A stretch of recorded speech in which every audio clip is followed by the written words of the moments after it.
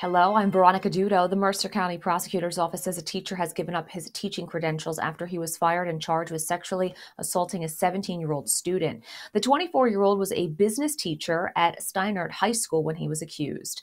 Two of the country's biggest banks are closing locations in New Jersey. According to the U.S. Department of Treasury, Bank of America will shutter its New Milford location, and TD Bank will shut down its Washington Township branch between now and March.